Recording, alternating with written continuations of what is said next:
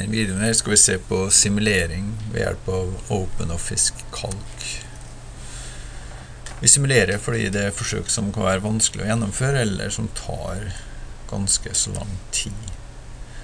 Men vi må først ha en teori om hva som er sannsynligheten for utfall. I simuleringa skal vi sim simulere hva er sannsynligheten for å få en gutt etterfølt, og få en gutt. Altså P og gutt, komma. Og vi skal simulere med 10, 100 og til slutt 10 000 forsøk i OpenOffice Calc.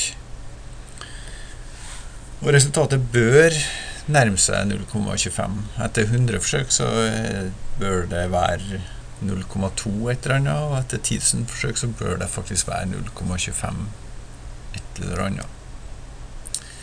Vi bruker funksjonen tilfeldig mellom og funksjonen hvis for å beregne om du har to gutter etter hverandre.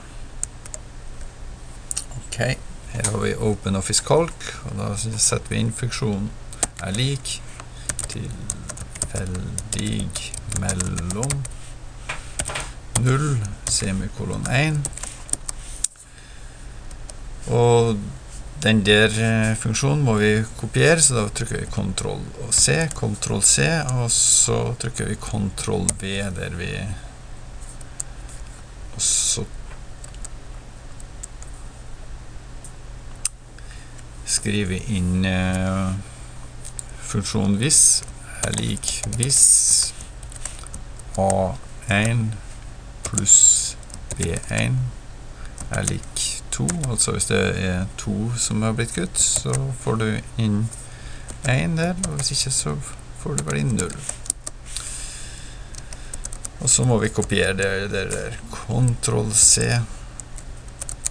og det skal kopieres i 9 plasser, helt til plass nummer 10. Ctrl V.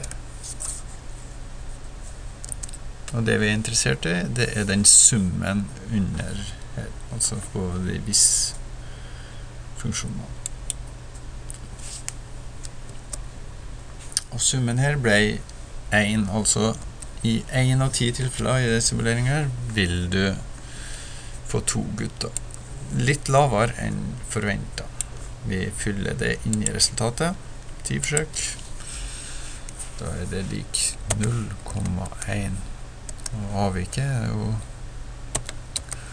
0,15 i Havik. Så gjør vi 100 simuleringer.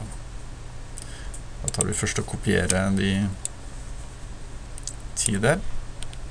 C. Ctrl C. Da går vi opp til 0, men vi må nødt til å ha det der mindre når vi skal ha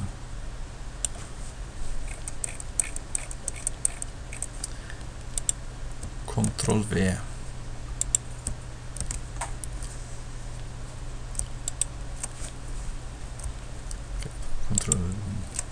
se på litt da.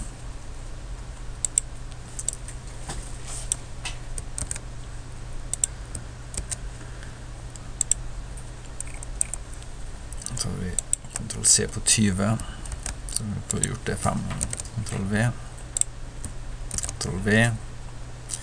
Kontroll V, og til slutt kontroll V. Da har vi 100 forsøk, og vi må finne summen. Summen her, 26. Ikke dårlig. Resultatet altså 0,26.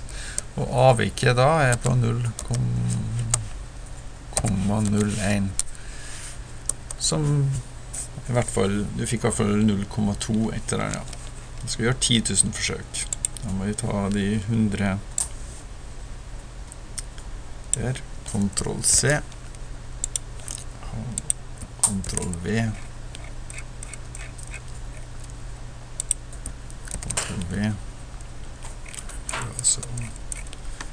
Så da tar vi og kopierer alle de 200.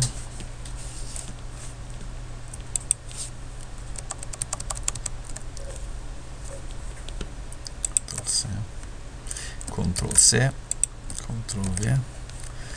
Så må vi ta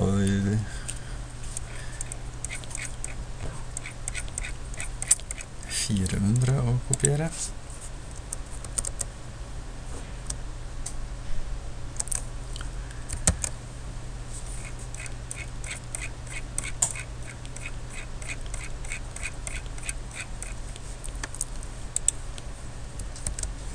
Nå må vi ta 800 å kopiere.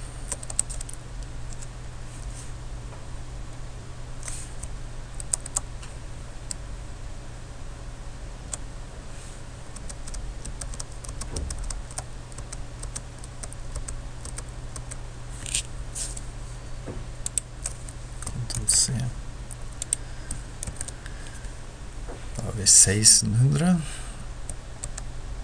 Da får vi kopiere alle de.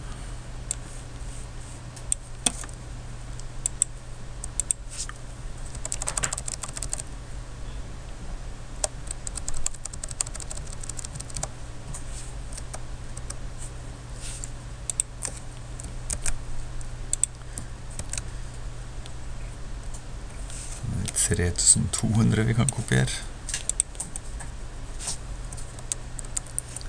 Det tar dessverre litt tid, men eh, forhåpentligvis vil jeg si at det blir ganske nært 0,25 sannsynligheten for å få to gutter. Beregninga er i hvert fall veldig enkel etterpå, for det er bare å bruke summeringsfunksjonen. Ops, litt for langt igjen.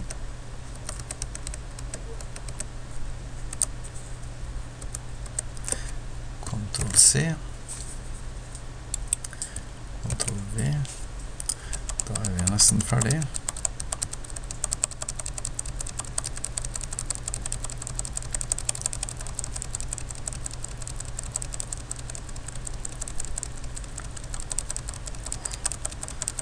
Oi, oi, oi.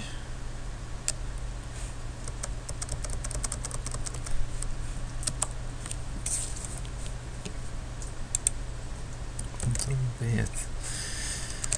Og så tar vi bare og kopierer de 200 siste, slik at det blir 10 000 akkurat. Ops, litt opp her.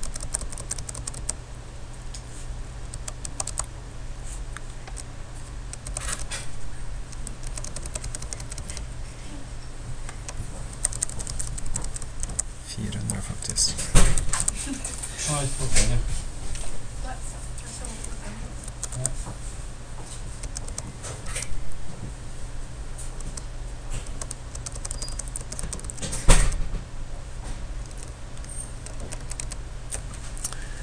Ctrl C.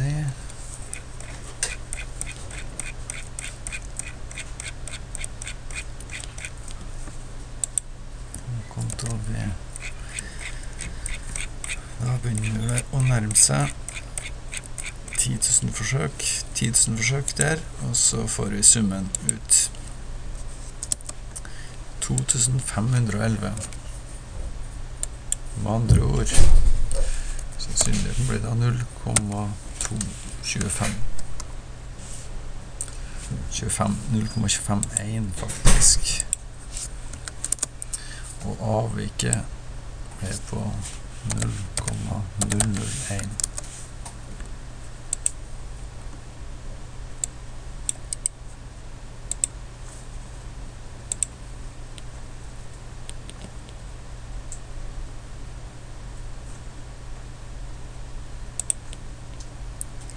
Det må jo gis med tre desimale.